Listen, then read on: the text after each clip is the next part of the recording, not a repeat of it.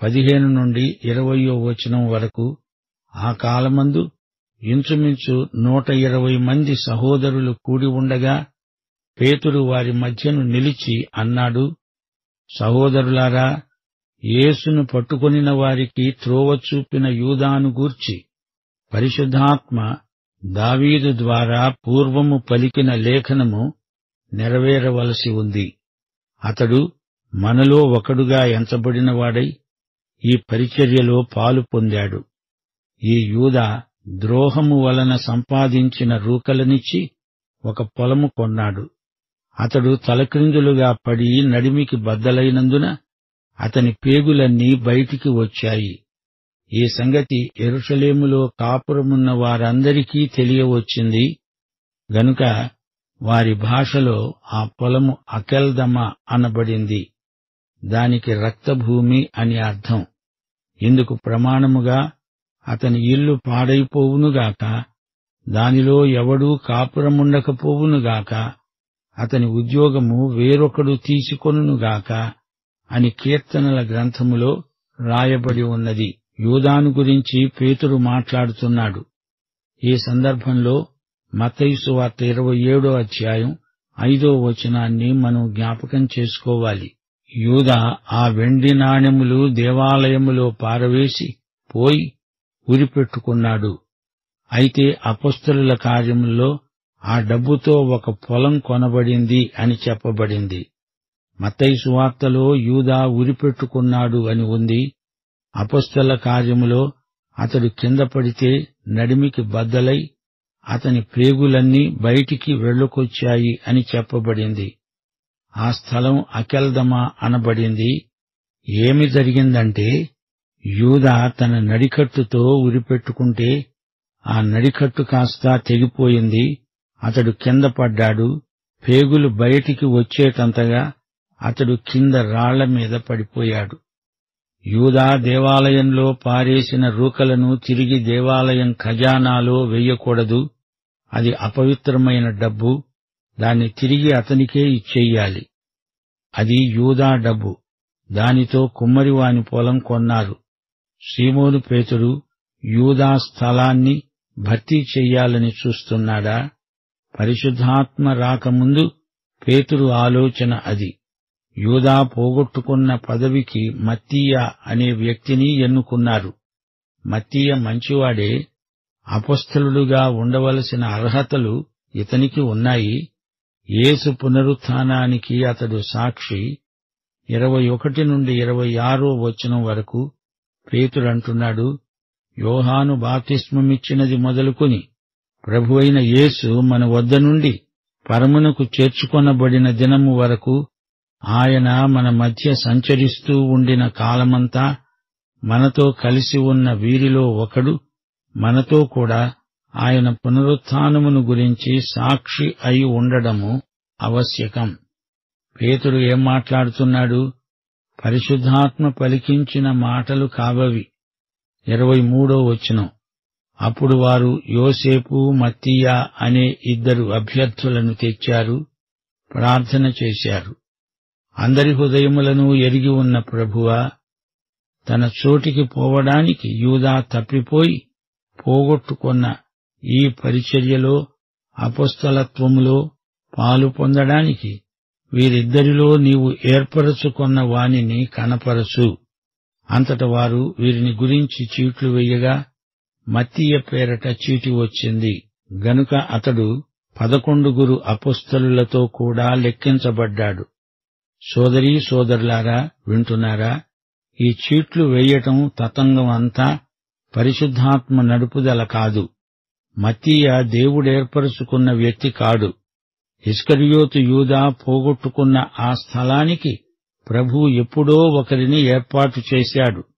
ఈ మతీయా పేరు మళ్ళీ ఎక్కడా వినబడదు. అతడు ఏమి చేశాడో అది చెప్పబడి ఉండలేదు. పరిశుద్ధాత్మ ఈ మత్తీయను గుర్తించినట్లు దాఖలా లేదు. దేవుడు ఆ స్థలానికి పౌలును నిర్ణయించాడు. పౌలు గలతీ పత్రిక రాస్తూ మొదటి అధ్యాయం మొదటి వచనంలో అన్నాడు మనుష్యుల మూలముగానైనా ఏ మనుష్యుని వలననైనా కాక యేసుక్రీస్తు వలన ఆయనను మృతుల్లో నుండి లేపిన తండ్రి అయిన దేవుని వలన అపుస్తలుడుగా నియమించబడిన పౌలు అనే నేను. చూచారా? పౌలును యేసు తన అపుస్తలుడుగా నియమించాడు. తండ్రి అయిన దేవుడు నియమించాడు. ఎలా నియమించాడు? పరిశుద్ధాత్మ ద్వారా. ఈ నియామకం నిర్ధారించబడింది.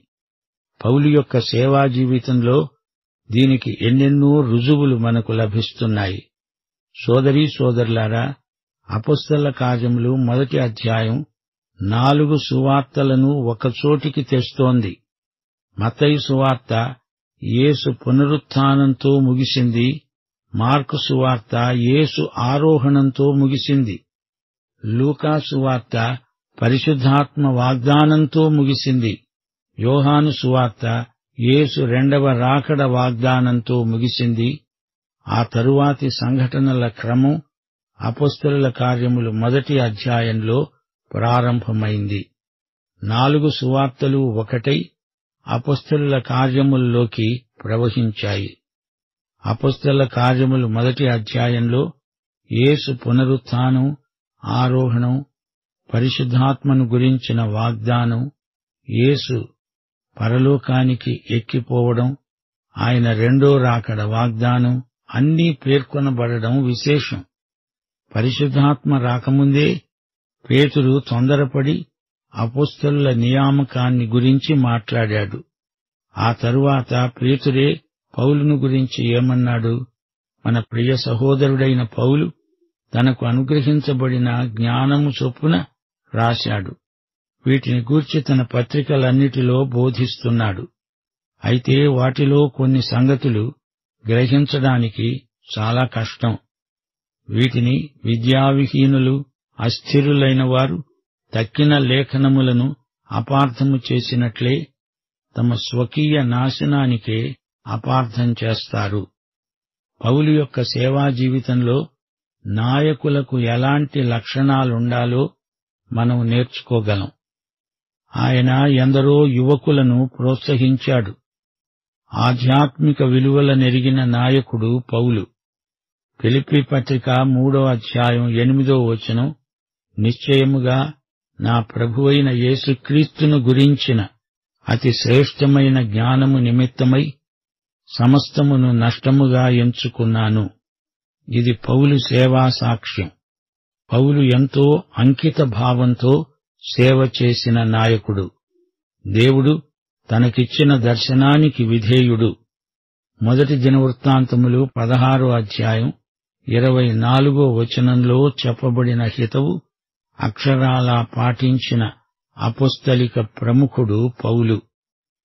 అన్యజనులలో ఆయన మహిమను ప్రచురించండి.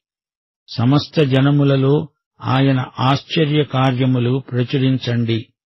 ఇస్కరియోతు యూదా దారి తప్పినందుచేత దేవుడు ఆ స్థలానికి పౌలును నిర్ణయించాడని ఆయన సాక్ష్యమే స్పష్టం చేస్తుంది. దేవునికి స్తోత్రం. యేసు ఒక శిశువుగా పుట్టినప్పుడు పొత్తిగుడ్డలలో చుట్టబడ్డాడు.